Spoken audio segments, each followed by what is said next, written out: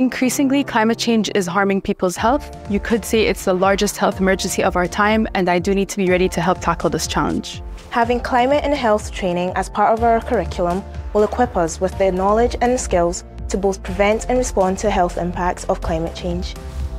That's why we're establishing the European Network on Climate and Health Education to increase teaching on this critical subject in medical schools across Europe and beyond. This network will enhance our ability to collaborate and share best practices across universities. This new European network expands the reach of the Global Consortium on Climate and Health Education, deepening cross-continental collaboration and strengthening academic training in Europe. Today's healthcare professionals are increasingly on the front line of climate change. That's why health leaders from across the public and private sectors are coming together to support this transformative new network.